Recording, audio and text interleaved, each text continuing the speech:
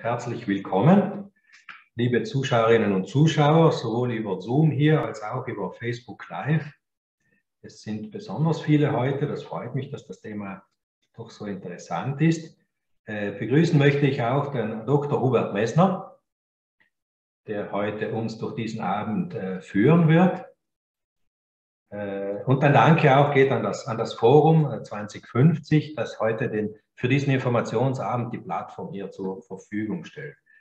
Ähm, warum dieser Abend und warum auch ich hier sitze? Äh, Folgendes, die Impfung war und ist ja äh, nicht nur ein rein medizinisch-wissenschaftliches Thema, sondern ist auch ein gesellschaftspolitisches Thema. Wir haben uns im Landtag notgedrungen zwei Jahre lang damit intensiv beschäftigen müssen.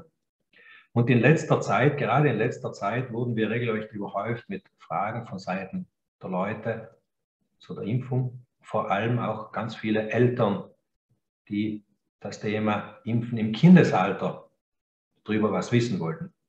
Nun, äh, wir sind keine Wissenschaftler im Landtag und deshalb haben wir beschlossen, eine Reihe von Informationsarbeiten zu machen zum Thema Impfung, insbesondere bei Kindern und zu Covid, aber auch allgemein und diese zu organisieren und präsentieren über diese Plattformforum. Und so hatte meine Kollegin Rieder vor zwei Wochen das Gespräch mit Dr. Geiger. Letzte Woche war Franz Bloner mit dem österreichischen Gesundheitsexperten Martin Sprenger hier. Heute der Infoabend mit Dr. Messner und nächsten Donnerstag noch der Abschluss der Serie wieder Dr. Franz Bloner mit dem Pädiater Dr. Günter Woller. Geplant ist jetzt heute ein kurzer Impulsvortrag, so ungefähr 15 Minuten von Dr. Hubert Messner. Und anschließend gibt es natürlich viel Platz für eure Fragen, für die Fragen der Zuschauer und Zuschauerinnen. Diese könnt ihr entweder über die Kommentarfunktion auf Facebook schicken äh, oder auch als Privatnachricht oder hier in den Zoom-Chat stellen oder auch, wenn ihr wollt, äh, als E-Mail an info.forum 2050 plus IT. Diese Fragen werden wir, soweit es die Zeit zulässt, soweit es möglich ist, dann dem äh, Dr. Hubert Messner zur, mit der Bitte auf Beantwortung weiterleiten. An dieser Stelle auch ein Dankeschön an die Mitarbeiterinnen und Mitarbeiter im Background vom Forum 2050 und alle die, die die Fragen dann abarbeiten und an mich senden. Ich werde sie, wie gesagt, versuchen im Gespräch hier unterzubringen. Nun ähm, zu Dr. Hubert Messner. Das Thema Impfen im Kindesalter ist ein besonders sensibles Thema, emotional stark beladen und gerade deshalb muss man versuchen, es objektiv zu erklären oder aufzubearbeiten. Deswegen hatten wir an gedacht, nach jemandem umgesehen, der wissenschaftlich fundiert, aber auch mit dem nötigen Einfühl Einfühlungsvermögen hier vorgehen kann. Und deswegen bin ich auch glücklich, dass hier kein geringerer als eben Hubert Messner bei uns sitzt. Er hat, äh, die meisten von euch kennen ihn schon. Er hat studiert in äh, Innsbruck, Modena, Mailand und Graz, Medizin studiert. Er war in Toronto und London als Kinderarzt tätig, bevor er dann in Bozen die Neonatologieabteilung gegründet hat und zu einer der besten in Europa gemacht hat. Äh, es ist er seit kurzem in Pension, engagiert sich aber weiterhin für soziale Projekte. In den Sommermonaten ist er einige Wochen auf den Alpen und Bergbauern zu helfen. Er ist weiterhin Berater und Experte für den Aufbau und die Verbesserung von Früh Frühchenstationen. Und jetzt äh, wird er uns hier durch diesen Abend führen. Eine kleine Einstiegsfrage würde ich dem Hubert gleich äh, mit auf den Weg geben. Wer aktuell die ganze Situation und Diskussion erlebt und empfindet, es ist auch ziemlich viel Desinformation, ziemlich viel Hass dabei. Äh, kritische, absolut gerechtfertigte Meinungen gehen oft äh, ein wenig äh, unter in einer Diskussion, die oft wenig Sachlichkeit hat. Wie erlebst du momentan diese ganze Situation hier im Lande Südtirol? Ich finde, dass wir einfach ein, ein Kommunikationsproblem haben und schon seit langer Zeit ein, ein Kommunikationsproblem hatten und beziehungsweise immer etwas hinten nachhinkten. Klarerweise gibt es jeden Tag Neuigkeiten über diese Corona-Geschichte, es gibt Neuigkeiten über die Impfungen. Äh, dort waren Informationen nicht immer sehr korrekt. Und ich finde, was heute gemacht wird, diese Informationssendung im, im, immens wichtig weil jetzt besonders unsere Kinder an dieser Corona-Epidemie leiden, im weitesten Sinne, ob das Schule, ob das Sport, ob das äh, Homeschooling, was auch immer ist.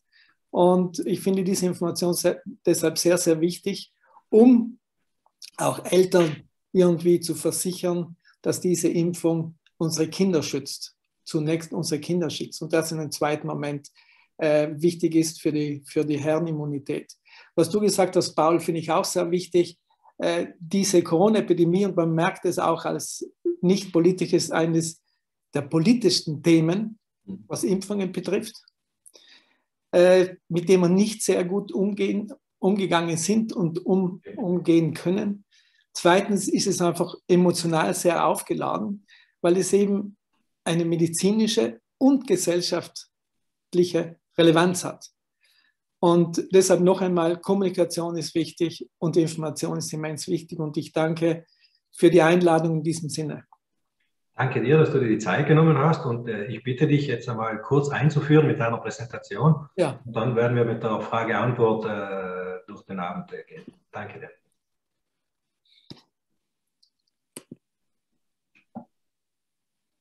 Muss das starten?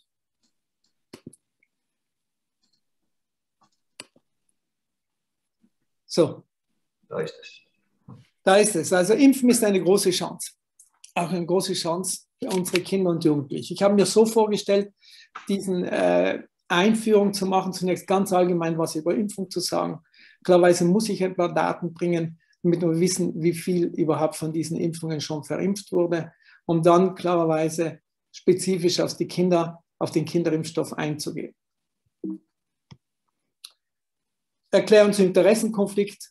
Ich habe keinen Interessenkonflikt, was äh, diese Veranstaltung oder was das Impfen überhaupt betrifft. Sie wissen alle, dass die Schutzimpfung als solche war eine große Erfolgsgeschichte in der Menschheit. Und ich empfinde immer noch Impfung als eine gelebte Solidarität in unserer Gesellschaft. Es war eine der wirksamsten präventiven Maßnahmen in der Medizin, nach dem sauberen Wasser, nach den Hygienemaßnahmen.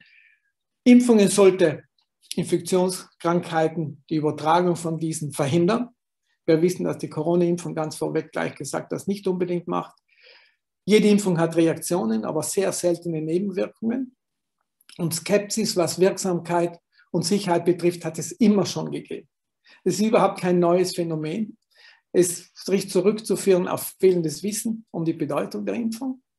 Es ist sicherlich auch Angst vor der Impfung, vor den Nebenwirkungen die Sorge, besonders wenn man Kinder impfen muss. Aber es ist besonders das fehlende Vertrauen in die Institutionen, ob das jetzt Wissenschaft ist, ob das Politik ist. Äh, das haben wir überhaupt die letzten Jahre, die letzten zwei Jahre mitbekommen. Und großteils finde ich auch, ist diese Skepsis bedingt durch den Frust, der in unserer Gesellschaft herrscht. Aber wie gesagt, ist kein neues Phänomen. Das gibt es schon, wir hatten äh, Impfskeptiker schon in, im 18. Jahrhundert.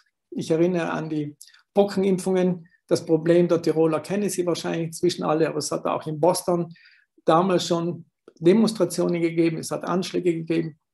Die Skepsis gibt es auch in Ländern mit niedrigen und mittleren Einkommen, äh, ob das jetzt Nigeria, äh, Afghanistan ist, wo man denkt, dass man irgendwelche Spionage, äh, Chips hier verimpft, beziehungsweise dass man denkt, dass man die muslimischen Kinder sterilisiert und so weiter. Deshalb, es gibt in der ganzen Welt diese Problematik. Pocken, wie gesagt, gibt es schon seit 1796. Und wir wissen, dass die Impfung, wie gesagt, eine der wirksamsten Methoden war. Nur hier ganz schnell die Masern. Sie sehen nach Einführung der Masern, sehen Sie eigentlich nicht mehr. Wir sehen sie nur wieder etwas die letzten Jahre, weil die Impfquote und der Impfschutz gegen Masern nachgelassen hat. Das Gleiche ist für die Röteln. Sie sehen nach der Einführung sehen wir eigentlich keine Röteln mehr. Ich habe hier nur die Masern rausgenommen. Wir hatten vor der Einführung der Masern 500.000 Fälle pro Jahr. Sie müssen sich vorstellen, äh, es waren ungefähr ein Kind auf 1000, auf 1000 Masernfälle verstarb uns. Sie können sich das ausrechnen. Und wir sehen heute noch 89 Fälle und nicht mehr pro Jahr. Wie ist die Corona-Lage? Wir haben sehr viel gelernt in diesen letzten zwei Jahren über Corona. Es gibt trotzdem jeden Tag Neuigkeiten. Wir haben sehr viele Zahlen, die uns jeden Tag ins Haus schwirren. Es wurde sehr viel äh, Research, also sehr viel äh, Studien gemacht. Es gibt eine, eine internationale Netzwerke, so haben wir alle Daten jeden Tag zur Hand. Es gibt aber auch diese Mutationen und dann wieder ansteigende Wellen, wo wir jetzt in der vierten Welle ja gerade darüber sind. Das nur ganz schnell zwei Daten. Wir haben bis zum 2. Februar 380 Millionen ungefähr von infizierten Leuten auf der Welt gehabt mit 5.680.000. Das war vor zwei Tagen. Wenn ich heute mir die Daten anschaue, da sind es schon 5 Millionen mehr und es sind schon 25.000 Tote mehr. Von Italien kann man die Daten jeden Tag anschauen. Auch diese gehen bis zum 30. Jänner. Wir hatten 11 Millionen 116.000 ungefähr von äh, Infizierten mit 146.000 Toten. Sie können sich das ausrechnen, es sind ungefähr 1,5 Prozent der Leute versterben daran. Wenn ich heute schaue, in Italien haben wir schon 100.000 mehr, gut 100.000 mehr, 11.235.000 und ungefähr 500 Tote mehr.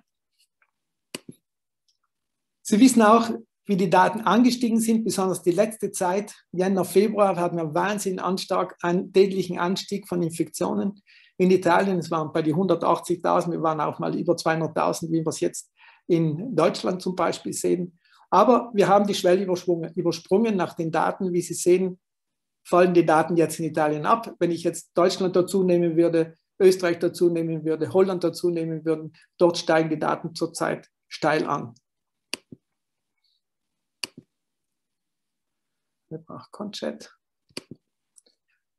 Wie viel haben wir geimpft? Weltweit sind schon 10,1 Milliarden Dosen verimpft worden. Vollständig geimpft sind 4,16 Milliarden. Das heißt, 53,4 Prozent der Bevölkerung ist geimpft. In Italien haben wir 120, 129 Millionen Dosen verimpft. 46 Millionen sind vollkommen geimpft. Das entspricht 77,5 Prozent der Bevölkerung. Das vor zwei Tagen. Auch in Südtirol haben wir über eine Million Dosen sind verimpft. Es ist interessant, 53 Prozent der Weltbevölkerung ist geimpft, aber nur 10 Prozent in den Ländern mit niedrigem Einkommen. Sie sehen, die meisten Impfungen sind in China gemacht worden. Entschuldige. Die meisten Impfungen sind in China gemacht worden, dann in Indien klarerweise. Aber wir sind als Europa an dritter Stelle vor Amerika, Brasilien und so weiter. Zur Corona-Impfung im Kindesalter. Wer trifft die Entscheidung?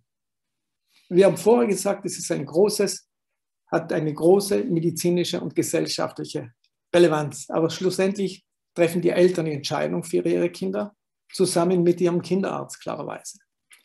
Wir wissen als Kinderärzte, dass diese Entscheidung sehr schwierig ist. Sie geht mit einer großen Verantwortung her. Deshalb braucht es Information. Eltern wollen nichts falsch machen, wollen sich keine Schuld aufladen. Aber sie müssen die Risiken der Krankheit und die Risiken der Impfung auf die Waagschale legen. Sie dürfen nicht die psychosozialen Auswirkungen dieser Krankheit vergessen.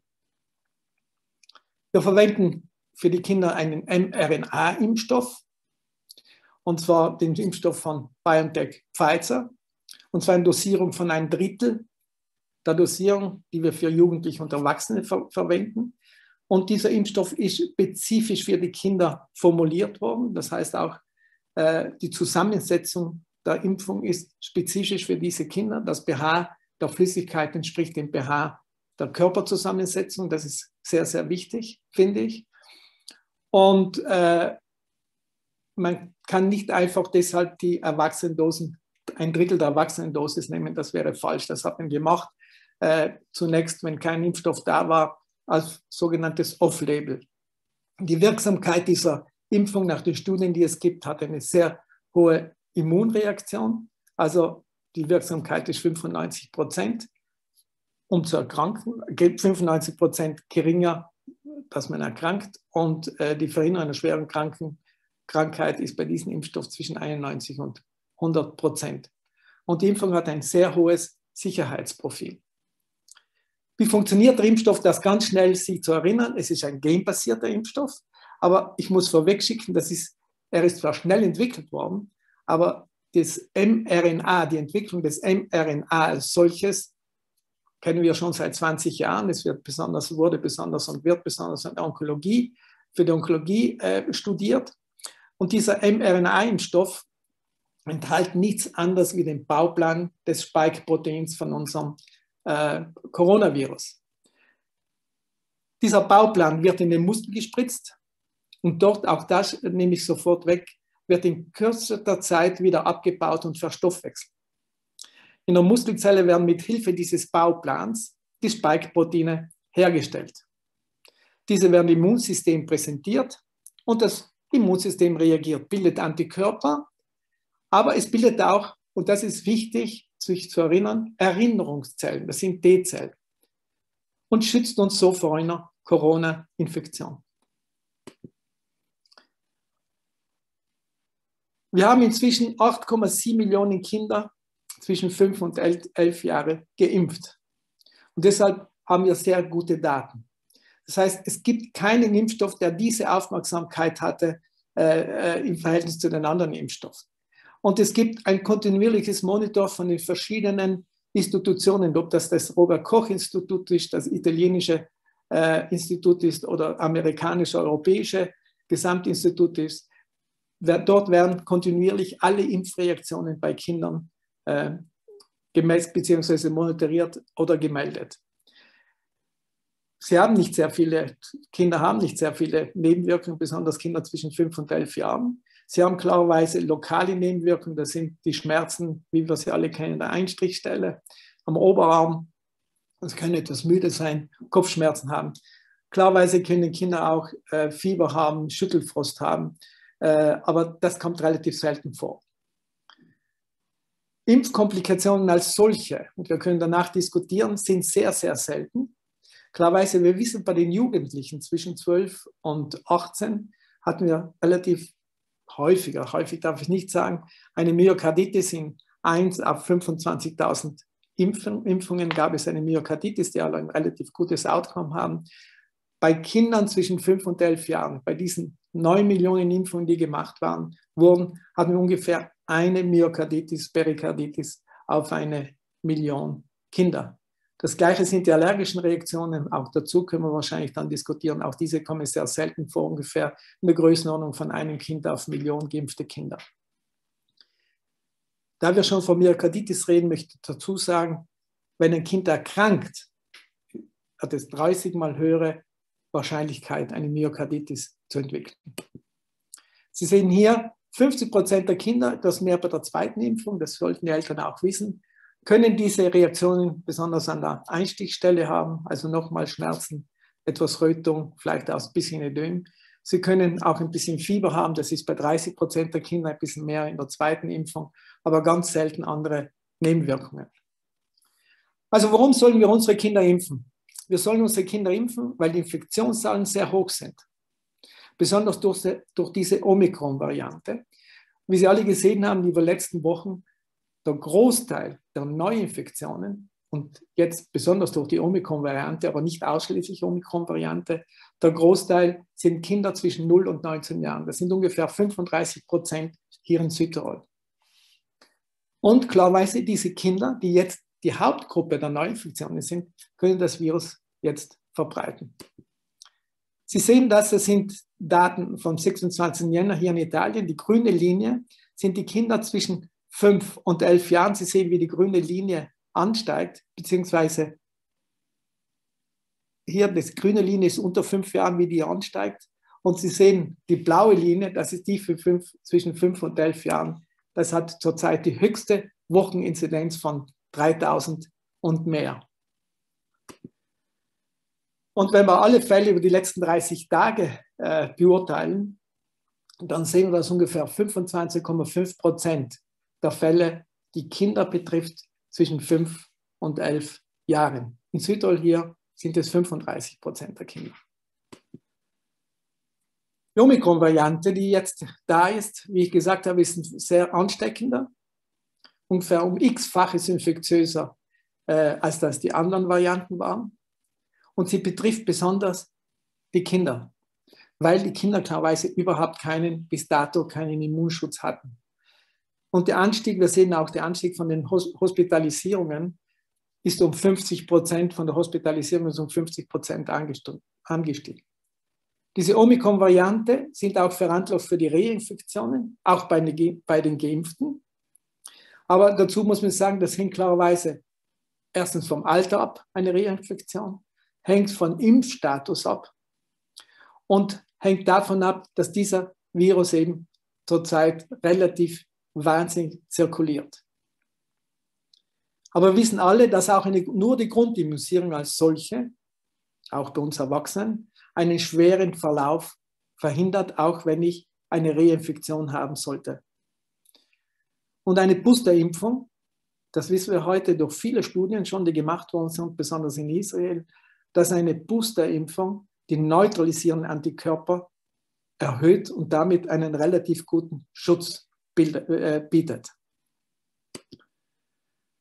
Sie sehen hier deshalb, wenn ich hier vergleiche zwischen Geimpften und Nicht-Geimpften äh, auf den Stationen aufgenommen, die auf den Stationen aufgenommen sind, dann sehen Sie, dass die Nicht-Geimpften klarerweise den Großteil ausmachen. Die äh, äh, Grundimmunisierten oder äh, Patienten, die geimpft sind, einen relativ kleinen Anteil und den kleinsten Anteil machen die Patienten aus, die einen Booster gehabt haben. Weiters andere Gründe, wieso wir unsere Kinder impfen sollen. Wir müssen wissen, dass der Großteil der äh, Kinder keinen schweren Verlauf hat und keine besonderen Symptome hat. Aber trotzdem können schwere Verläufe vorkommen. Und Sie müssen wissen, dass inzwischen Covid-19 eine der zehn häufigsten Todesursachen im Kindesalter ist. Sehen hier die Daten auch von Ende Jänner von Italien. Wir haben in, in Italien zwischen 0 und 19 im Rahmen dieser Epidemie gab es über 2 Millionen Aufnahmen. Davon wurden 12.365 stationär aufgenommen. Das entspricht ungefähr 0,6, 0,8 Prozent. 300 von diesen kamen auf eine, auf eine, eine äh, pädiatrische Intensivstation und 39 verstarben. Scheint als nicht große Daten zu sein, wenn ich Europa schaue und Italien mitnehme, mitnehme Bezogen sind diese Daten auf alle gemeldeten Fälle, die wir haben. Das heißt, diese zwei Millionen in Italien und x Millionen in Europa. 0,6 bis 0,8 Prozent dieser Kinder werden stationär aufgenommen. Diese Aufnahmen haben sich aber letzthin, besonders die letzten Wochen, um ein Vielfaches um 50 Prozent erhöht. 0,015 Prozent, das heißt 15 auf 10.000 Kinder, kommen auf eine Intensivstation das entspricht den drei bis fünf Prozent der Kinder, die stationär aufgenommen wurden. Und 0,002 Prozent, das sind zwei Kinder auf 100.000, kommen nicht mehr nach Hause. Und das entspricht 0,3 Prozent der stationären Kinder. Das vielleicht sind Zahlen, die Sie dann verstehen. Das sind es auch hier. Das sind Daten von der Deutschen Gesellschaft Pädiatrisch Intensiv äh, und äh, Neontologisch Intensiv. Hier sehen Sie äh, das Blaue, ich weiß nicht, ob Sie das im Hintergrund sehen können, das wären die gemeldeten Fälle seit, dem ersten, des, äh, seit den letzten zwei Jahren, geht bis hin. Und Sie sehen, dass in Intensivstationen ungefähr, ja, zum Teil auch je nach den Spitzen der gemeldeten Fälle auch bis zu drei, fünf Prozent der Kinder aufgenommen werden. Und es ist auch interessant zu wissen, dass auf den Normalstationen der aufgenommenen Covid-Kinder nur 23 Prozent eine Begleiterkrankung haben, also ungefähr ein Viertel. Hingegen Kinder, die auf die Intensivstationen kommen, haben fast zu zwei Drittel irgendeine Begleiterkrankung, also eine chronische Erkrankung oder eine Risiko, sind Risikopatienten. Outcome. Wenn wir Kinder aufnehmen, die haben klarerweise, wie ist das Outcome bei ihrer Entlassung? Wir sehen, dass 70 Prozent vollkommen sich erholen. Aber 27,8 Prozent haben Restsymptome, die anhalten. Und 0,3 Prozent dieser Kinder kann Folgeschäden haben. Weiterer Grund. Wir sehen gesehen, Kinder können auch schwere Verläufe haben. Kinder kommen ins Krankenhaus, kommen auf Intensivstation. Aber meiner Meinung nach, was wir vollkommen unterschätzen, sind diese Spätsfolgen. Das ist der Long-Covid und dieses BIMS-Syndrom, also dieses pädiatrische äh, multisystemische Infektionssyndrom und klarweise psychosozialen Spätfolgen. Long-Covid bei Kindern sind Symptome, die sehr vielfältig sind. Wir wissen, dass Long-Covid bei Erwachsenen, der stationär aufgenommen wurde, ungefähr 30 Prozent ist. Kinder haben keine richtigen Daten, weil es so vielfältige sind, die Symptome so vielfältig sind. Man rechnet zwischen 7 bis 8 Prozent. Daten aus den USA zeigen, dass 16,6 Prozent äh, ein Long-Covid-Syndrom hat. Es ist nicht gut, wie gesagt, und einheitlich definiert. Aber es, wir wissen, wissen, beziehungsweise die Eltern müssen wissen, es kann auch nach einer vollkommen asymptomatischen oder milden, moderaten Infektion mit dem Coronavirus auftreten. Und die Symptome, die normalerweise dann über Wochen oder Monate nach der Erkrankung anhalten können bis zu einem Jahr. Wir wissen, wie gesagt, nicht richtig, wie viel es trifft und es gibt noch sehr viele offene Fragen. Aber wir wissen, dass dies eine Krankheit ist, die vollkommen unterschätzt wird. Zu den Long-Covid-Beschwerden äh, äh, kommen besonders die extreme Abgeschlagenheit, dieses chronische Ermüdungssyndrom, das wir auch von anderen Krankheiten an für sich kennen, anderen viralen Krankheiten kennen. Es kommen dazu Atem- und Kreislaufprobleme, Kopfschmerzen, Schlafstörungen und Konzentrationszerstörungen. Das sind die wichtigsten Symptome. Von diesen Kindern müssen noch 0,1 bis 2 Prozent stationär aufgenommen werden nach den Daten, die wir von, von Amerika haben. Und von diesen können bis 0,03 Prozent auch versterben. Das nächste große Problem, das wir unterschätzen, das Sie inzwischen alle kennengelernt haben, war auch in Südtirol Fälle hatten, und das ist das BIMS, dieses pädiatrische schwere Infektionssyndrom. Das ist relativ gut inzwischen schon definiert. Das heißt, diese Kinder haben mindestens über zwei Tage hohes, sehr hohes Fieber.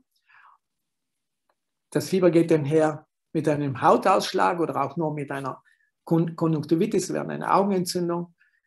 Die Kinder haben oft myokardiale Dysfunktionen. Sie können Hypotension, also Blutdruckabfälle haben, Schocksymptomatik haben.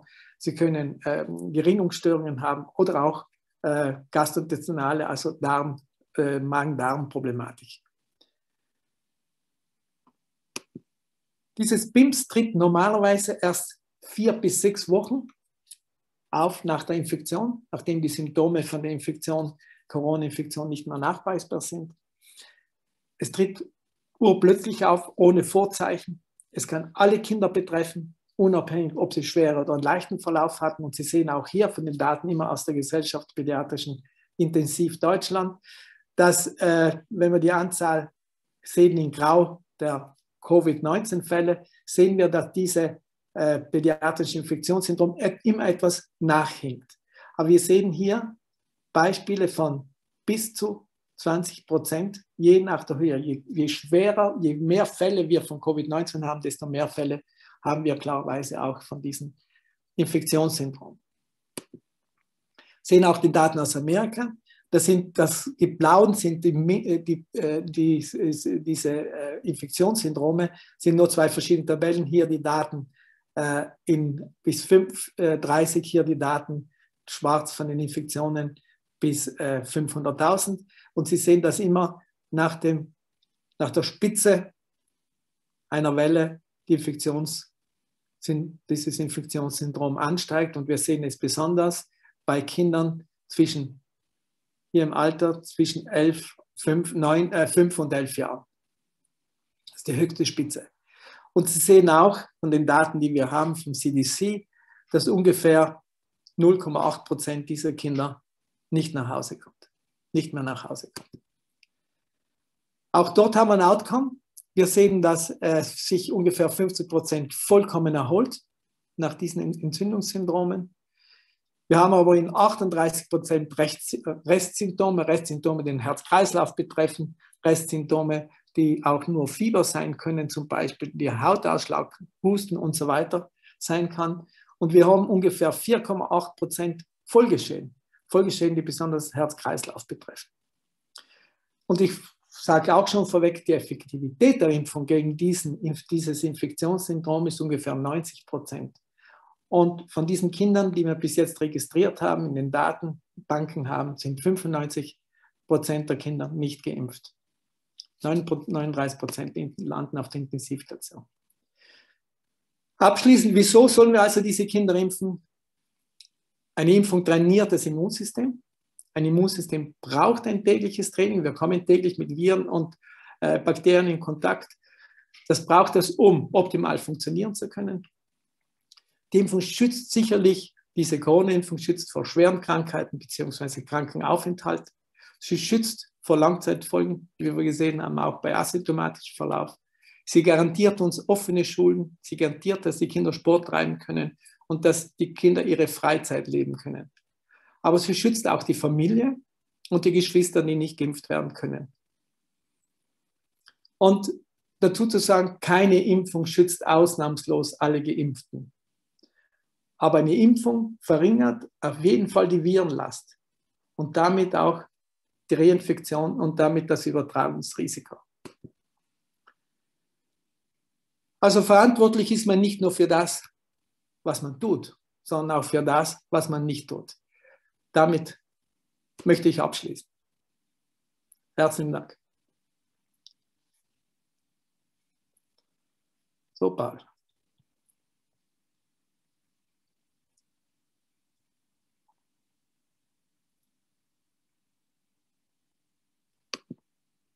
Okay. Paul, ich höre dich nicht. Jawohl, mein Mikrofon war ausgeschaltet. Gut. Gut, vielen Dank, Hubert. Äh, Gerne. Sehr, sehr interessant. Ähm, ich würde jetzt schnell ein, zwei Fragen äh, vorlesen, die schon an uns herangetragen worden sind äh, im Vorfeld dieses äh, Vortrages. Und dann werde ich hier aus dem Chat jetzt schon einmal die ersten Fragen aus dem Publikum, die schon eintrudeln, äh, dir weiterleiten. Gerne. Also eine, eine Frage, die, die sehr häufig an uns herangetragen wurde, war folgende, dass die Covid-Erkrankungen bei den Kindern ja in der Regel asymptomatisch sind. Äh, wenn man impft, gibt es aber ein gewisses, auch geringes Risiko an, an, an Nebenreaktionen, ob sich das überhaupt lohnt. Also viele Eltern haben, fragen sich bei äh, dem geringen Risiko symptomatisch, also die Krankheit wirklich zu entwickeln von Kindern, ob es sich lohnt. Eigentlich hast du mit deinem Vortrag das schon ziemlich äh, gut beantwortet, aber vielleicht willst du noch in einem Satz auf diese, diesen Zweifel eingehen. Das ist eigentlich der an uns am häufigsten herangetragene Zweifel. Es ist, äh, es ist sicher richtig. Äh, ein Großteil der Kinder, ungefähr 80 Prozent unserer Kinder, hat keine besonderen Symptome. Das ist vollkommen richtig. Aber nichtsdestotrotz, Kinder, und wir können das nicht vorwegsehen, landen im Krankenhaus, landen auf Intensivstation, können, Kinder können an dieser Erkrankung auch versterben. Und jedes Kind, das auf Intensivstation oder auch sterben kann, ist ein Kind zu viel als erstes. Als zweites, was wir vollkommen unterschätzen in dieser Krankheit, und ich sage, und ich sage das öfters, das wird das nächste große Problem für das Gesundheitssystem, sind diese äh, Spätfolgen, wie diese Long-Covid-Problematiken oder auch das, das, dieses pädiatrische Infektionssyndrom. Das unterschätzen wir noch vollkommen. Und diese Kinder brauchen Wochen, sie brauchen Monate, sich zu erholen. Und es wird ein Marathon für die Eltern. Die Impfung hat fast keine Nebenwirkungen, jedenfalls keine Langzeitwirkungen, weil dieses Spike-Protein sofort verstoffwechselt wird. Innerhalb von Tagen sehen Sie kein, nichts mehr von diesen Spike-Proteins. Und äh, die, die Impfung schützt das Kind. Es schützt sie nicht vollkommen wie andere Impfungen vor einer Erkrankung, vor einer, vor, vor einer Reinfektion. Das heißt, sie schützt nicht nur vor einer Infektion, aber es schützt sie vollkommen für die Krankheit. Und das nützt uns auch in Zukunft vielleicht für den Herbst, an dem wir auch wieder denken müssen. Gut, also das sind doch einige Argumente, die auch bei Kindern für eine Impfung sprechen. Äh, ein paar Eltern haben uns gefragt, die haben Kinder zwischen, fünf, zwischen zwei und fünf Jahren. Wir reden hier jetzt bisher in einem Vortrag immer von Kindern von fünf bis elf oder fünf bis zwölf. Von zwei bis fünf Jahren, äh, die möchten die Kinder durchaus impfen. Jetzt sagt es gibt aber noch keinen Impfstoff. Warum ist das so, beziehungsweise wird einer kommen? Äh, der Impfstoff ist, ist, wird wahrscheinlich schon Mitte, Mitte Februar, wird er jedenfalls äh, vorgelegt der FDA für, für die Genehmigung. Dann braucht es sicherlich wieder einen Monat, bis er bei der, bei der äh, Europäischen Arzneimittelagentur ist, das heißt im März. Der Impfstoff wird schon geprüft seit letzten März für Kinder zwischen sechs Monate und äh, fünf Jahren. Es ist ein Impfstoff, immer ein mRNA-Impfstoff, der ein Drittel der Dosis von diesem Kinderimpfstoff hat, auch spezifisch für diese Kindergruppe gemacht worden ist, aber jetzt vor der Omikron-Variante gemacht worden ist, deshalb die Omikron-Variante nicht mit einschließt. Und äh, wir wissen noch nicht genau, die Daten sind noch nicht so, dass wir genau sagen können, ob zwei Impfungen bei diesen Kindern aufgrund der geringen Menge an Impfstoff, ob die zwei, zwei Impfungen genügen. Die Wirksamkeit scheint sehr gut zu sein. Das Sicherheitsprofil von den Daten, die ich bis jetzt habe, ist auch ein sehr gutes. Aber nochmal, äh, wir müssen uns noch Zeit lassen und warten auf die Daten ab. Gut, vielen Dank. Dann fange ich jetzt ein bisschen mit den Fragen aus dem Publikum an, die jetzt live hereinpudeln. Frage an Dr. Messner. Unser Sohn kam in der 25. Schwangerschaftswoche auf die Welt und war einige Wochen intubiert. Das ist ja genau dein Gebiet, Hubert. Er ist mittlerweile sechs Jahre alt, hatte zu Neujahr 22 Corona mit einem sehr leichten Verlauf, kurz abgeschlagener Kopfweh. Wie ist die Impfempfehlung oder wie generell ist die Impfempfehlung für Frühchen? Er hatte, äh, Paul, entschuldige, hatte Neujahr 22, dieses ja. Jahr. Ja. Also die Impfempfehlung grundsätzlich für Frühchen ist überhaupt kein Unterschied äh, zu den geborenen, termingeborenen Kindern. Frühgeborenen klarerweise haben ein Immunsystem, das früh trainiert wird, wie Sie sich vorstellen können, weil sie eben zu früh auf die Welt kommen und sofort sich mit den verschiedensten äh, äh, Keimen auseinandersetzen müssen. Deshalb, sie reagieren auf Impfungen gleich gut wie Termingeburten, deshalb muss man es nicht hinten anstellen. Wenn das Kind jetzt im, im, jetzt im Jänner eine Corona-Infektion hatte mit wenig Problemen, dann empfiehlt man die Impfung zu machen nach zwischen vierten und sechsten Monat nach dieser Impfung nach dieser Infektion, dass man dort die erste Impfung macht. Okay, vier bis sechs Monate, also viel. Vier bis sechs Monate, ja. Eine Frage von Johanna. Meine Buben, zehn und acht Jahre, wurden Anfang Dezember mit Covid infiziert, hatten leichte Symptome Schnupfen. Und die Frage, die hast du jetzt eigentlich schon für das Frühchen beantwortet. Wann soll ich sie impfen?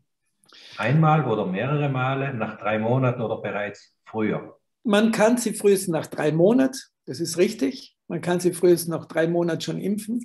Hängt ein bisschen von der epidemiologischen Lage ab.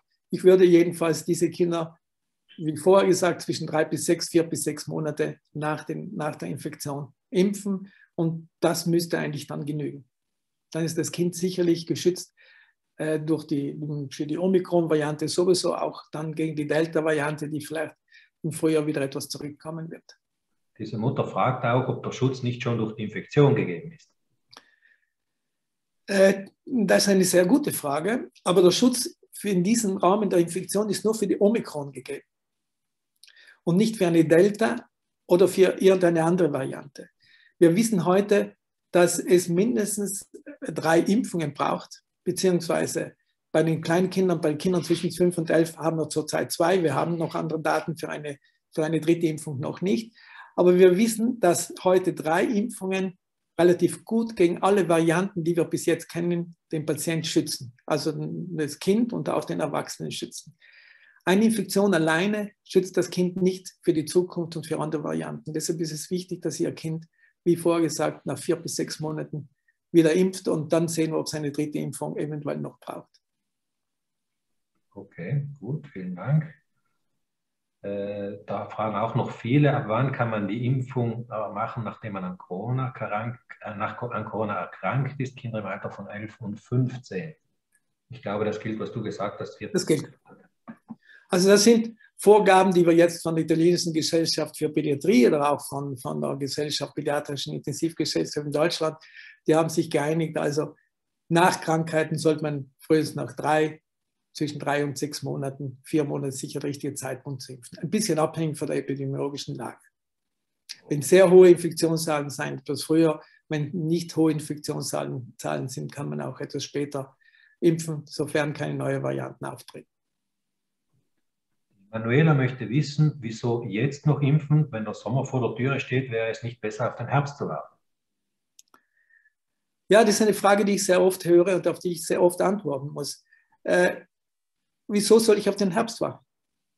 Sie schützen Ihr Kind jetzt gegen diese Varianten, die Sie haben.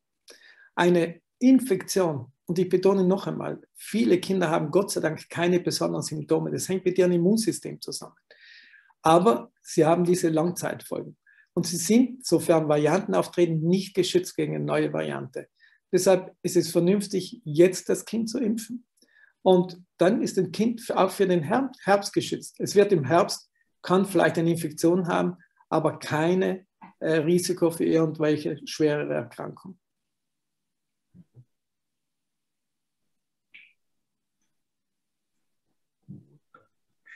Weiter. Wäre es sinnvoll abzuwarten, bis der Impfstoff an Omikron angepasst wurde?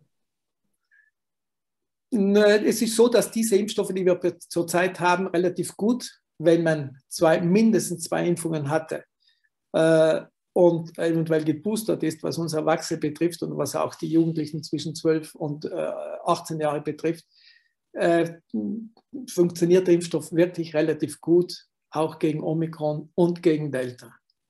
Deshalb, wir wissen heute, dass durch die Boosterimpfung, also durch diese Auffrischimpfung, wie man die immer nennen möchte, die neutralisierenden Antikörper gegen alle Varianten, die wir bis jetzt haben, relativ stark ansteigen. Und wir geschützt sind. Klarweise hängt es auch von den Monaten ab, wie lange der Impfschutz anhält. Der Impfschutz der Geboosterten hält sehr lange an. Das heißt, Schutz für Krankheit oder Krankenheitsaufnahme, nicht als Infektionsschutz. Das ist nicht unbedingt der Fall. Der verliert sich mit der, mit der Zeit. Aber wie ich vorher gesagt habe, es werden ja Erinnerungszellen aktiviert und die werden durch die Booster besonders aktiviert. Bei Kindern werden die viel stärker aktiviert. Und klarweise, je älter werden sie aktiviert, deshalb bin ich mehr anfällig auf diese Infekte. Erinnerungsantikörper, auch wenn es Herbst wird, erinnern sich sofort, diesen Virus kenne ich, auch wenn es vielleicht eine andere Variante ist, die nicht aggressiv ist. Die kennen diesen, diesen äh, Virus und stimulieren dann den Körper sofort Antikörper zu produzieren.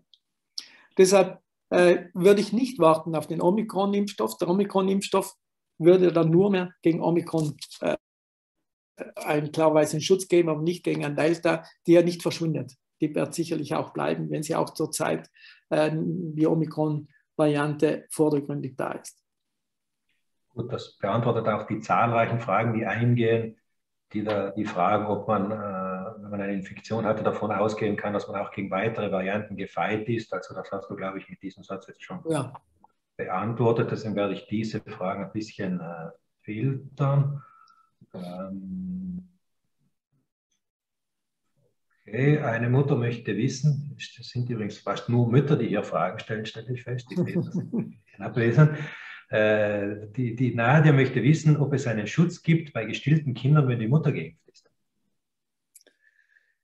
Äh, das heißt, ich weiß nicht, wann ist die Mutter geimpft worden? Das, das möchte mir die Frau Nadia sagen.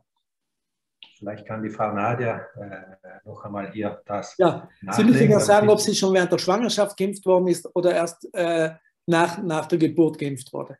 Und ich kann das so beantworten. Wenn sie während der Schwangerschaft geimpft worden ist, klarweise hat sie dem Kind Antikörper mitgegeben. Das Kind behält diese Antikörper sicher für drei, vier Monate. Dann äh, flachen diese Antikörper ab wie bei jeder, jeder Krankheit und jene Antikörper, die die Mutter dem Kind übergibt, wenn sie nach der Geburt geimpft worden ist, dann schützt sie das Kind relativ. Also sie gibt dem Kind zwar die Muttermilch sogenannte IgA-Antikörper, die schützen zwar ein bisschen die Schleimhäute, deshalb kommt der Virus relativ schlechter über diese ACE-Rezeptoren in den Körper, aber es ist ein relativer Schutz, kein, kein großer Schutz mehr Leidungsstillen gegeben. Okay. Da sind hier einige Fragen, die ich jetzt versuche, auch ein bisschen zusammenzufassen, weil die Leute, die hier im Chat schreiben von Zoom müssen wissen, es kommen sehr viele Fragen auch über Facebook herein. Ich muss das ein bisschen äh, filtern. Ähm, es sind auch ein paar kritische Fragen da, unter anderem zum Beispiel, wieso kann man wissen, will man wissen, dass diese Impfung nicht auch Langzeitfolgen für die Kinder mit sich bringt? Äh, bei den Erwachsenen versprachen auch der Booster würde super gegen die Infektion helfen, aber mit Omikron steckt sich trotzdem alle an eine Frage zum Beispiel sagt, äh, Primar Dr. Heidecker hat letzte Woche die, an einer Tagung die Vermutung geäußert, dass gerade die Impfung bei Kindern noch zu wenig auf Langzeitfolgen untersucht worden ist und hat sich gegen eine Pflichtimpfung ausgesprochen. Was ist deine Meinung dazu, Robert? Also äh, Pflichtimpfung stelle ich hinten an, weil darüber können wir bis morgen diskutieren. Pflichtimpfung ja. äh, ist sicher nicht unbedingt notwendig in diesem, in diesem äh, Kindesalter. Äh, das sind vier verschiedene Fragen versucht zu antworten. Also Langzeitfolgen, was für Langzeitfolgen? Impfungen grundsätzlich kaum, ganz selten Langzeitfolgen. Da ist vieles geschrieben worden und vieles dann äh, klarweise geklärt worden über die Jahre. Dieser Impfstoff, wie ich vorgesagt habe, wird innerhalb kürzester Zeit in der Muskelzelle, in denen ich ihn gespritzt habe, verstoffwechselt. Es bleibt von diesem Impfstoff nichts zurück. Er hat keinen Verstärker wie andere Impfstoffe, die wir haben, der eventuell Probleme geben könnten. Sie erinnern sich alle ans Aluminium, Sie erinnern sich alle ans Diomersal und so weiter, dass alte Impfstoffe hatten. Der hat kein, kein äh, Verstärker. Er hat nur, er wird verpackt in Lipidtröpfchen, in Nanopartikel, das sind Fetttröpfchen, und diese Fetttröpfchen werden stabilisiert durch das Diphenyl, äh, durch den Diphenyl, ja, Ethylen. Das ist das Einzige, gegen das irgendwann ein Kind äh, Reaktionen oder auch allergische Reaktionen haben könnte. Aber diese Substanz, Fetttröpfchen stabilisiert, finden wir in jedem Shampoo, fast in jeder Hautcreme. Alles, was einen Emulgator braucht, hat diese Substanz. Deshalb ist das das Einzige. Nachdem dieser Impfstoff, dieses mRNA, mRNA sofort verstoffwechselt wird, gibt es keine Langzeitfolgen. Es gibt Reaktionen, es gibt Nebenwirkungen, wie vor allem die Myokarditis, Perikarditis, die wir sehen. Aber wir sehen bei Kindern keine Thrombosen, wir sehen bei Kindern keine neurologischen Problematiken. Wir haben jetzt, wie Sie vorher gesehen haben, wir haben neun Millionen Impfdosen verimpft. Keine Impfung hatte diese Aufmerksamkeit, wie ich vorher gesagt habe, äh, wie diese. Und wir haben Daten aus der ganzen Welt. Zeitfolgen, die nach drei Monaten auftreten, die sehen wir bei diesen, bei diesen Impfstoffen nicht. Weder in der Studien noch jetzt mit neun Millionen Dosen. Deshalb, ich habe keine Sorgen von Lang Langzeitfolgen diesen mit diesen Impfstoffen. Eine sehr beruhigende Nachricht. Äh, die Frau Uli möchte folgende Information. Sie sagt, meine Tochter war ein Frühchen, hat einen Nierenreflux, der operiert wurde. Sie ist, zurzeit ist sie genesen. Sobald die Genesung verfallen ist, möchten wir sie impfen. Muss auf etwas Besonderes geachtet werden? Wo sollte man das auf alle Fälle mit der Ärztin, die sie seit der Geburt verfolgt, absprechen? Sie können das gerne mit der Ärztin klarweise absprechen, dass Ihr Vertrauensarzt äh, ist. Aber äh, nachdem das Kind einen Reflux hatte, operiert worden ist und genesen ist, sehe ich überhaupt kein Problem, das Kind nicht zu impfen. Es gehört meiner Meinung nach sogar zu Kindern, die ein bestimmtes Risiko haben. Deshalb würde ich es auf jeden Fall impfen. Äh, hier haben wir einen Vater, Peppi. Er möchte wissen, ob die Impfung Auswirkungen auf die Hormone in der Pubertät haben könnte. Nein, das ist auch etwas, was oft kolportiert wurde. Äh, die Impfung hat keine Auswirkungen, hormonelle Auswirkungen. Das hat man studiert. Es gibt inzwischen gute Daten. Und äh, was man dazu sagen muss, ist wirklich richtig. Äh, vielleicht hat er das auch gelesen. Es kann bei den pubertierenden oder menstruierenden Mädchen effektiv äh, nach der Impfung äh, bei, der, bei der Menstruation, bei der nächsten Menstruation irgendwo schon Verschiebungen geben. Das hat man gesehen. Aber das sieht man auch bei anderen Impfstoffen, äh, wie zum Beispiel beim Human Papillomavirus, Human Papillomavirus, das man in Mädchen spritzt, sieht man dasselbe. Aber keine Auswirkungen auf, ihre, auf ihren Hormonhaushalt. Damit sind auch ein paar andere ähnlich lautende Fragen äh, beantwortet worden. Eine Frage hier ist, äh, kann man impfen in der 22. Schwangerschaftswoche? Ohne Probleme. Ohne Probleme. Äh, da haben wir auch sehr viele Daten, die in der Welt gesammelt werden über die Schwangeren. Ich habe eine Studie von 65.000 äh, Schwangeren äh, vor mir liegen, die besagt, dass äh, die Impfung ab der 14. Schwangerschaftswoche, das heißt im zweiten Trimenon, empfohlen wird. Es gibt Länder, die machen es auch schon im ersten Trimenon. Das ist eine Diskussionsfrage. Äh, im ersten Trimenon, wenn die Mutter Fieber haben könnte, könnte sich das dem, aus dem, auf den Fetus, auf das Embryo in diesem Sinne auswirken. Deshalb empfiehlt man es ab, der zweiten, ab dem zweiten Trimenon und man kann dann äh, klarweise nach drei Wochen die zweite Impfung machen, die eventuell noch die Auffrischimpfung, wenn es in die Schwangerschaft fällt oder eben nach der Geburt. Gut. Äh, was passiert, wenn ein Kind eine, äh, eine Impfung hat, sich dann aber eine unentdeckte Infektion holt und man drüber impft? Das ist ein, fast schon ein Booster. Also das, das Immunsystem äh, das reagiert darauf sehr gut. Also kommt nicht zu einer Überreaktion des Immunsystems, wenn, wenn das gemeint ist.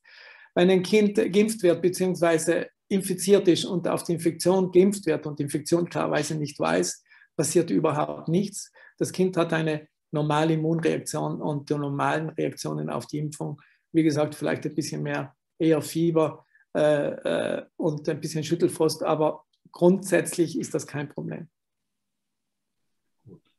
Monika möchte wissen, mein Sohn, neun Jahre alt, hat die erste Impfung bekommen und nach drei Wochen äh, am Termin der zweiten Impfung war er leider Corona-positiv. Wann sollte er impfen? Sollte er überhaupt noch impfen oder reicht die erste Impfung plus die Infektion schon aus? Du, grundsätzlich ist so, wenn er nach drei Wochen, hat er nach drei Wochen die Corona? Ja. Also vor der zweiten Impfung hat er die Corona.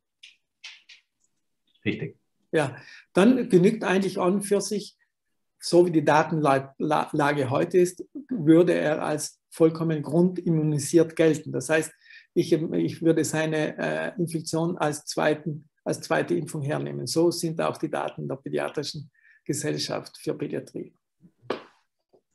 Marc möchte wissen, wie es mit den Kindern zwischen zwei und vier ist. Bei der grünen Nummer der Sanität bekommt man keine Auskunft. Du hast das ein bisschen schon beantwortet. Dieser Impfstoff ist, wenn ich mich richtig erinnere, hast du gesagt, in Ausarbeitung in Amerika in der Zulassungsphase, richtig? Richtig. Also Zulassungsphase in, äh, ich weiß, dass äh, am 15. Februar die FDA darüber entscheiden wird und irgendwann wahrscheinlich im März dann. Ich muss jetzt da filtern. Wir haben eine unglaubliche Menge an Fragen. Wir wollten den Abend ungefähr um Viertel nach neun, also so in 20, 25 Minuten beenden. Ich filter jetzt das ein bisschen raus, was du mehr oder weniger schon äh, äh, beantwortet hast. Sehr viele Fragen sind ähnlich. Äh, vielleicht versuchen wir es jetzt mit der Frage von Birgit. Meine Kinder 5, 7 und 10 sind vollständig geimpft. Eine Woche nach der zweiten Impfung sind sie positiv getestet worden. Sie haben kaum bis gar keine Symptome. Können sie trotzdem noch Long-Covid-Folgen bekommen? Und wenn ja, wie lange können diese noch auftreten? Long-Covid normalerweise schließt sich äh, an, an, die, an die Krankheit an. Long-Covid schließt sich an äh, und dauert dann von wie vorher gesagt, äh, sechs Wochen bis über Monate. Ich, äh, es gibt Kinder, die nach Jahren noch Probleme haben. Wenn sie zweimal geimpft worden ist und das nach der Impfung dann äh, sich infiziert hat, wahrscheinlich durch eine Omikron-Variante, hätte ich keine Sorgen mehr fürs Long-Covid, weil sie durch die Grundimmunisierung relativ gut, wie Sie vorher gesehen haben, im Vortrag geschützt sind. Kann man Long-Covid auch bekommen, wenn man äh, asymptomatisch oder nur sehr leichte Symptome hat? Ja, man kann Long Covid auch kriegen, wenn man nur asymptomatische oder leichte Symptome hat. Ja, das ist richtig. Es kommen ein paar Fragen auch zum RS-Virus herein, unter anderem, warum hier der vorliegende, der vorhandene Impfstoff nicht an alle Neugeborenen verabreicht wird. Und hier fragt Claudia auch, mein Sohn, viereinhalb Jahre, ist sehr anfällig auf Viren, RS-Virus, Intensivstation, Adenovirus, Krankenhausaufhalt und so weiter. Im Moment positiv mit unterschiedlicher Symptomatik habe einen Tag hohes Fieber, sonst Schnupfen. Habe etwas Angst vor Langzeitschäden. Kann man inzwischen etwas tun, um ihn zu schützen? Wie geht man äh, vor, wenn BIMS oder MIS auftritt? Äh, ich habe verstanden, dass er jetzt Corona-positiv ist. Ja. RSV-Virus positiv war und jetzt Corona-positiv war. Richtig, er hatte praktisch schon mehrere Virenerkrankungen, RS und Adenovirus hinter sich. Jetzt ist ja. er Corona-positiv. Äh, ein RS-Virus klarweise äh, ja, wenn ich als kleines Kind ein RS, RSV-Virus habe, äh, bin ich für die nächsten zwei, drei Jahre relativ anfällig auf andere Viren. Das weiß die Frau sicherlich. Es jetzt Corona hat und der keine besonderen Symptome hat äh, und ein sehr kleines Kind ist, äh, würde das Kind beobachten. Wie gesagt, Long-Covid tritt relativ nach den Symptomen auf. Eine Misstritt, ein sogenanntes Infektionssyndrom tritt erst nach vier bis sechs Wochen auf.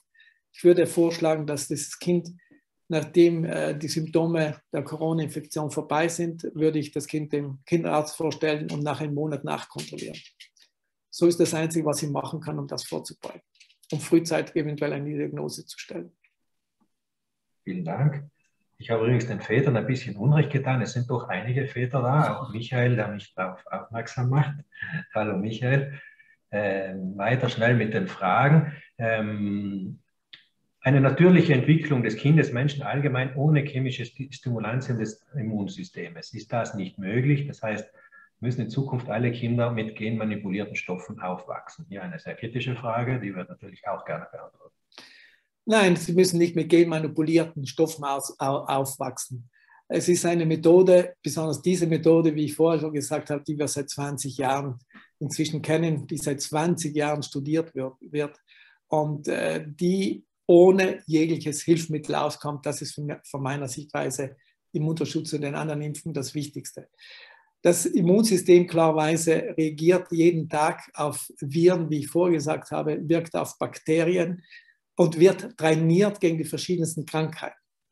Wir, wir werden nicht durch alle Viren und alle Bakterien, die wir tagtäglich, mit denen wir tagtäglich in Kontakt sind, erkranken. Aber es gibt Viren klarerweise, besonders wenn Kinder mit diesen Viren nie in Kontakt waren, auch wie wir Erwachsenen nie in Kontakt waren, dann kann, können diese Viren schwere Krankheiten verursachen.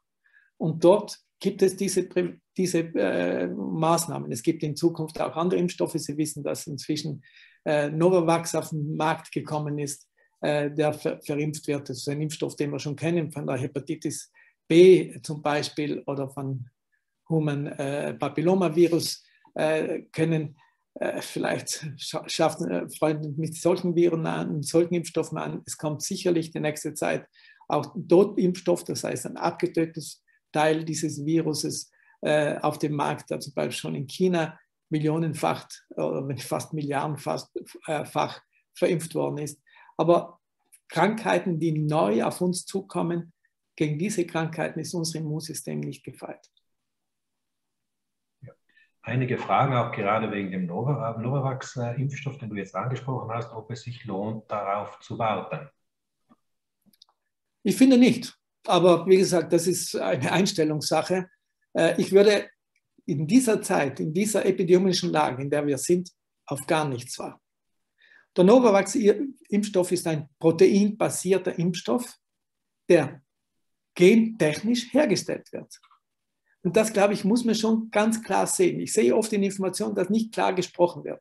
Da wird gentechnisch auf Insektenkulturen hergestellt, nur ein Eiweißbestandteil von diesem Coronavirus.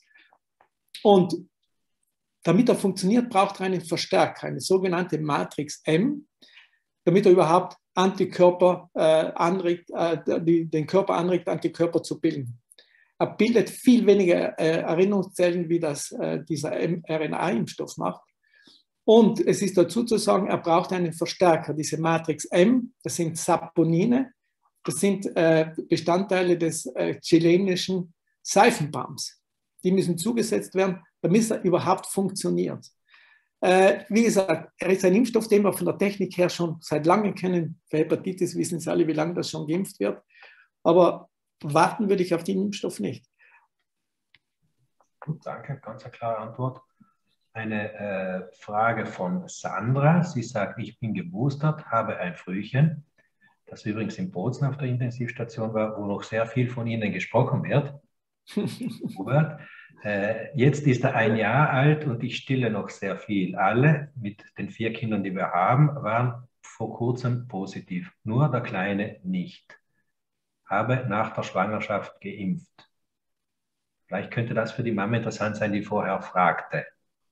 Äh, ja, das ist auch, das war sehr vernünftig. Ja. Äh, man weiß heute, dass wir unsere kleinen Kinder, besonders die kleinen Kinder, relativ gut schützen, also Kinder unter einem Jahr, die einen großen Anteil zurzeit der Neuinfektionen sind, schützen, wenn ich grundimmunisiert, beziehungsweise ich schütze es noch besser, wenn ich geboostert bin. Ich schütze es nicht vollkommen. Aber wenn ich geboostert bin als Mami, dann schütze ich mein Kind. Und wenn ich es stille, klarweise, wie ich vorgesagt habe, gebe ich dem Kind IgA. Und der Virus hat ein bisschen größere Schwierigkeiten, sich in den Schleimhäuten anzuheften. Gut. Deshalb, das ist das Vernünftigste. Was die Mami gemacht hat, war sicher vernünftig. Sehr gut. Eine Mami, die Margit, fragt, ob es äh, sinnvoll ist, äh, jetzt in einer Zeit mit so vielen Infektionen hineinzuimpfen. Äh, wie wirkt es sich aus, wenn ein Kind unmittelbar nach der ersten Impfung erkrankt? Ich glaube, du hast das schon ein bisschen äh, besprochen, aber du kannst ja gerne da auch noch einmal kurz sagen. Ja, aber genau, ich habe, wie ich vorher gesagt habe, es ist die epidemiologische Lage. je mehr Virus zirkuliert, desto mehr infizieren wir uns, besonders unsere Kinder, und desto mehr Reinfektionen haben wir. Das hängt mit der Zirkulation des Virus zusammen, mit der Viruslast, wenn ich das so sagen darf, in unserer Gesellschaft. Wie ich vorgesagt habe, auch wenn das Kind sich kurz vor der Impfung oder nach, kurz nach der Impfung äh, infizieren sollte, dann macht das dem Immunsystem gar nichts. Das Immunsystem kam mit dieser Situation sehr, sehr gut zurecht. Ja, auch eine sehr interessante Frage. Die STIKO, also die Ständige Impfkommission, empfiehlt die Impfung für Kinder von 5 bis 11 nur für Risikogruppen, nicht allgemein. Warum ist das so? Die STIKO, äh, Sie wissen, was die STIKO ist. Die STIKO ist die Ständige Impfkommission in Deutschland. Die ist ein, äh, ein Organ von äh, Experten von den verschiedensten Gebieten, die sich mit den Studien der Impfstoffe auseinandersetzt. Äh, sie ist klarerweise sehr sorgsam, was Kinder betrifft, was vollkommen richtig ist. Aber sie hat die Impfempfehlung nur gegeben nach den Studiendaten, die sie zur Verfügung hat. Und die Studiendaten, die zwar äh, wir erst seit äh, September im Endeffekt äh, hat man die ersten Daten zur Verfügung. Und aufgrund dieser Daten hat die STIKO gesagt, okay, wir impfen alle Kinder, die Risikofaktoren haben, weil wir keine anderen, weil wir zu wenig Daten, die Datenlage noch zu dünn ist. Und äh, in einem zweiten Moment wird diese Impfung sicher freigegeben. Sie haben das bei den Jugendlichen erfahren, hat die STIKO zunächst auch nur gesagt, im Juni nur Kinder mit äh, Risikofaktoren. Und zwei Monate später hat sie die Impfung für alle Kinder empfohlen. Äh, deshalb äh, ist das die STIKO. Aber andere, wie zum Beispiel in Österreich, hat man off-label geimpft, schon den Erwachsenenimpfstoff den Kindern verabreicht, ein Drittel, das schon seit September, der Universitätsklinik Innsbruck, Professor der Thomas. Und äh, äh, in Italien zum Beispiel und in, in, Amerika, in Amerika, in äh, Frankreich, in Holland empfehlen die, die, die, die Agenturen beziehungsweise die pädiatrischen Gesellschaft, alle Kinder zu impfen. Und ich bin sicher, es ist nur eine Frage der Zeit, dass die deutsche äh, STIKO äh, sich dem anschließen wird. Dankeschön. Dann eine Mutter möchte wissen, zurzeit werden zwei Impfungen bei den Kindern gemacht. Wird es dann auch bei Ihnen wahrscheinlich eine Boosterimpfung brauchen? Eine andere Mutter hat auch gefragt, kann es sein, dass für die Kinder sowie auch für die Erwachsenen, äh, Erwachsenen die Corona-Impfung jährlich wiederholt werden muss, so ähnlich wie eine Grippeimpfung? Das ist auch eine sehr gute Frage, äh, ob man jetzt den Kindern zwischen fünf und, und elf Jahren eine Boosterimpfung machen muss. Dazu haben wir die Daten, ist die Datenlage effektiv noch nicht gegeben. Das wissen wir noch nicht. Kann sein, muss überhaupt nicht sein. Äh, dass wir jedes Jahr impfen, äh, das glaube ich nicht. Ich denke, dass äh, wahrscheinlich die Risikopatienten, Patienten über 65 oder über 70 und Patienten mit Risikofaktoren oder auch Kinder, muss man dazu sagen, mit Risikofaktoren eventuell wie andere Impfungen im Herbst, jedes Jahr im Herbst wieder machen muss. Aber sicher nicht die ganze Bevölkerung. Aus dem, Chat der Allianz, aus dem Chat der Allianz für Familie fragt der Michael für eine Freundin, ihr Kind hatte am Sonntag den zweiten Impftermin. Das Kind ist, ist jetzt aber in der Quarantäne bis Montag. Ein neuer Impftermin ist aber nicht zu kriegen in den nächsten Wochen. Sie würde gerne am Sonntag testen und dann impfen. Das geht aber nicht. Hat man irgendwie eine Chance? Wo könnte man da intervenieren? kann ja nicht sein, dass ein Kind am neunten Quarantänetag mit, mit negativem Test nicht impfen darf. Scheint mir ein bisschen eigenartig, ist sicherlich, hat die, hat äh, die Frau vollkommen recht. Für mich ein bisschen eigenartig. Wir haben Impfstoff für Kinder zur Verfügung. Äh, Kinder haben ihre eigenen Termine. Das ist das Einzige, was ich jetzt nicht weiß, äh, wie die Termine für die Kinder ausgeschrieben sind, in welchen Tagen und zu welchen Uhrzeiten. Aber ich würde das Kind auf jeden Fall zum Termin äh, wenn hätte sie den Termin gehabt, hast du gesagt? Äh, sie, äh, sie hätte am Sonntag den zweiten Impftermin. Und äh, die Quarantäne wird aufgehoben? Am Montag erst. Ich würde am Sonntag zur Impfung gehen, wenn das Kind negativ getestet ist. Mhm. Ich würde Sonntagmorgen das Kind testen und gehen. Jetzt, wie wir wissen, ist die Quarantäne sowieso reduziert worden. Das wird wahrscheinlich am Montag sein. Ich weiß nicht, in Südtirol heute entschieden ist schon ab morgen. Aber ich würde jedenfalls am Sonntag, äh, wenn das Kind negativ ist, äh, äh, zur Impfung gehen und nicht auf den Montag warten oder auf irgendwelchen anderen Termin. Äh, Kinder mit Zöliakie? Ist kein Problem. Hier auch äh, Brigitte, die sagt, Kinder und Jugendliche zeigen sehr viel Verantwortung in dieser äh, Pandemie. Sie tragen viele Entscheidungen selbstverständlich mit. Wäre es nicht auch langsam an der Zeit, wenn von Lockerungen geredet wird, die Masken zu entfernen, wenn Kinder in der Schule genesen, geimpft oder getestet sind?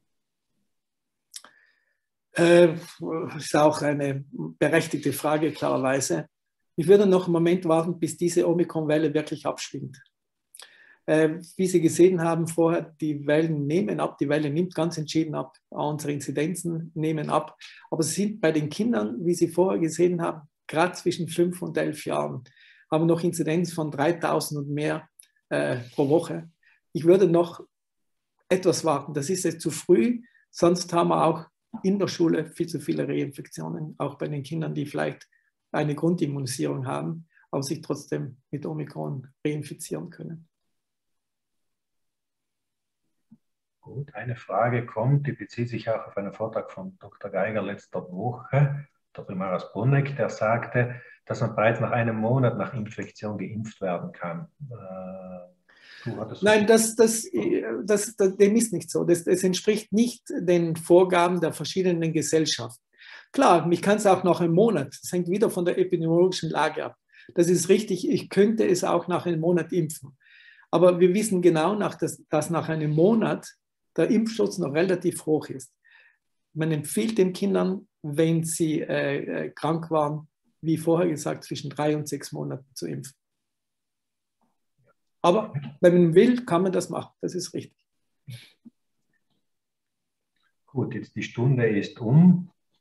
Ein, zwei Fragen gehen sich vielleicht noch, noch aus. Äh, die Frage von Angelika, soll sich ein Kind nach der Impfung schonen und wie lange? Ein Kind muss sich nicht unbedingt nach der Impfung schonen. Ich würde sicherlich äh, dem Kind für eine Woche äh, nicht empfehlen, jetzt wirklich Sport zu betreiben, im Sinne in einem Verein Sport zu betreiben.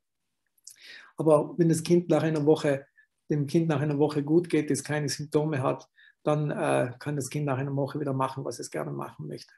Ob das jetzt Freizeit, Sport oder was auch immer ist. Auch für eine Woche wird das Kind relativ äh, nicht belasten. Gut, eine Frage noch, ob es in Südtirol bis jetzt, äh, wie viele schwere Verläufe gegeben hat. Schwere Verläufe, denke ich, bezieht sich auf die Krankheit. Wir haben, in, wie Sie wissen, die letzten Jänner 15 Kinder auf der äh, Kinderstation gehabt.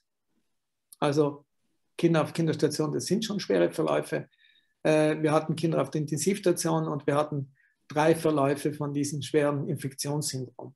Das schwere Infektionssyndrom wissen wir zwar inzwischen, wie man das behandeln kann, aber es ist eine Behandlung, die sich über die Zeit zieht. Das heißt, das kind, das kind bekommt Antikörper, das Kind bekommt über Wochen Cortison verabreicht. Also es ist eine schwere Krankheit. Gott sei Dank erholt sich 98 Prozent und mehr dieser Kinder erholen sich vollkommen. Aber wie ich vorgesagt habe, diese Kinder, es wird ein Marathon. Die Eltern müssen die Kinder über Monate und über Jahre regelmäßig nachkontrollieren.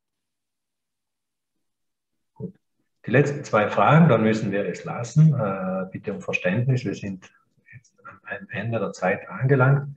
Die letzten zwei Fragen noch ganz schnell. Die Claudia möchte wissen, ihre Kinder hatten Anfang Dezember eine, äh, eine Corona-Infektion und nach 35 Tagen eine weitere Omikron-Infektion.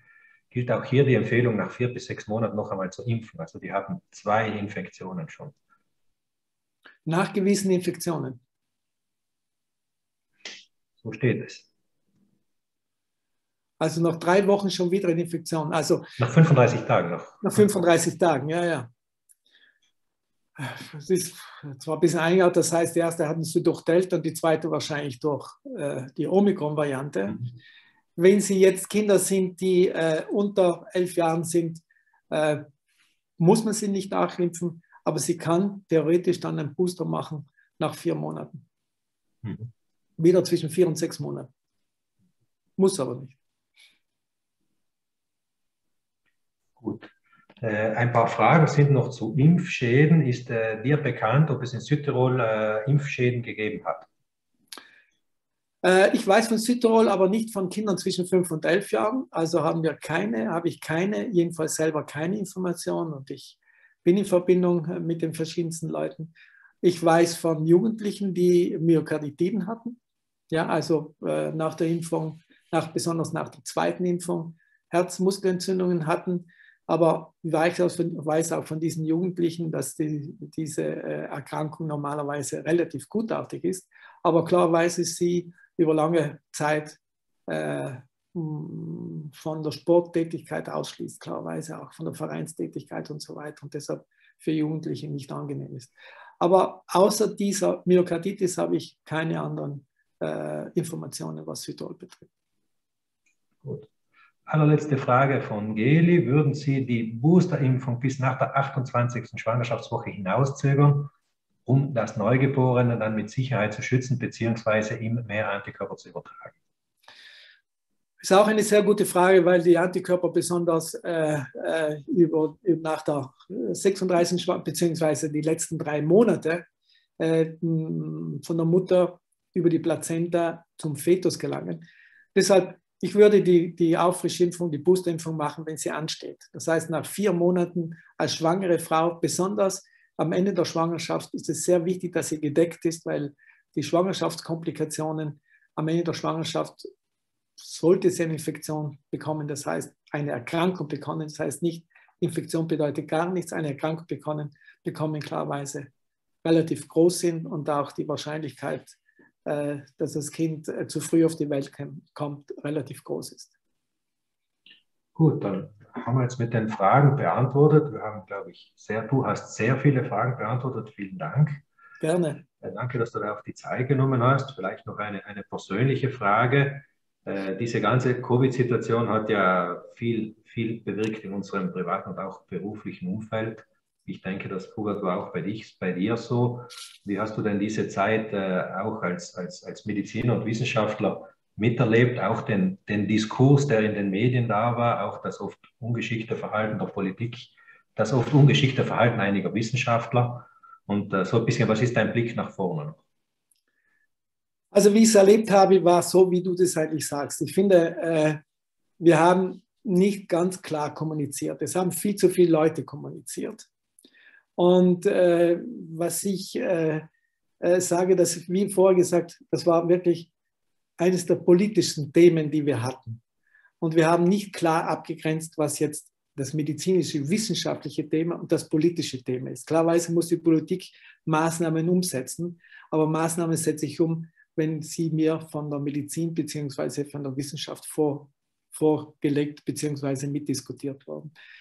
Äh, ich selber habe so erlebt, dass ich äh, zunächst äh, vor einer Krankheit stand, die ja niemand kannte, die uns überfahren hat, mich eingebracht habe, dass ich dort gearbeitet habe. Aber ansonsten war es eine Zeit, die mir schon irgendwo, wie soll ich sagen, in der ich Zeit hatte zu reflektieren, in der ich Zeit hatte, über viele Sachen nachzudenken. Aber es war auch eine gute Zeit, finde ich, was mich betrifft, klarweise. Ich war ja nicht voll im, im Berufsleben mehr. Ich hatte sehr viel Zeit zu lesen, sehr viel Zeit, mich äh, auch mit dieser Krankheit auseinanderzusetzen. Und ich glaube, wir haben alle sehr viel die letzte Zeit gelernt ich denke, dass wir äh, wirklich äh, ein, ein, Licht sehen jetzt langsam, dass diese Krankheit äh, uns erhalten bleibt. Das ist sicherlich der Fall. Wir werden äh, mit diesem Coronavirus leben lernen. Und äh, wir werden nur mehr unsere Risikopatienten, das sind unsere ältere Generation, Patienten mit Risikofaktoren, äh, in Zukunft schützen müssen. Aber ich hoffe, dass wir dann wieder zurückkommen in ein anderes, normales Leben und in einen Umgang mit einer endemischen Krankheit und herausfordernden Pandemiemodus. Ja. Das wünsche ich uns allen, dass das auch so schnell wie möglich geht und dass wir dann auch die gesellschaftliche Spaltung, die da stattgefunden hat, langsam wieder auffangen können und wieder uns um die wirklich wichtigen Sachen kümmern, die ja noch anstehen. Wir haben ja von Klimawandel bis Überalterung der Gesellschaft, wir haben ja riesen Herausforderungen und hoffentlich bleibt dann Covid nur eine eine Krankheit so wie eine Grippe in Zukunft. So, so hoffe ich, so hoffe ich aber auch. Und ich denke auch, aber ich denke, die gesellschaftliche Spaltung war nicht unbedingt die Maßnahmen, Paul, die wir hatten, sondern das war vielmehr äh, die fehlende Solidarität, die in dieser Gesellschaft ge ge äh, äh gewesen ist. Ich denke, wir müssen diese Solidarität, um als zu bestehen, als gesellschaftliches System, diese Solidarität wieder zurückgewinnen. Und das wird eine sehr große Arbeit auch von Seiten der Politik werden. Ja, das stimmt. Ich möchte auch festhalten, dass immerhin aber, ich würde mal sagen, gut mindestens 85 Prozent der Leute hier diese Solidarität ja. bewiesen haben. Und bei denen, denen, gilt auch Dank und das sind diese Leute, die mitgeholfen haben, diese Pandemie zu beenden. Ne? Und auf das können wir aufbauen. Richtig. Gut. Dann vielen Dank, lieber Hubert, für deine Zeit, Gerne. für deine kompetenten Antworten. Danke an die Zuschauerinnen und Zuschauer und an die zahlreichen Fragen. Äh, ich erinnere euch noch einmal, äh, das Forum wird hier nächste Woche, nächsten Donnerstagabend noch einmal einen Vortrag bringen zu diesem Thema, und zwar mit dem Pädiater Günter Goller und äh, meinem Kollegen Franz Bloner. Danke fürs Dabeisein und einen schönen Abend an alle. Wiedersehen, tschüss. Servus.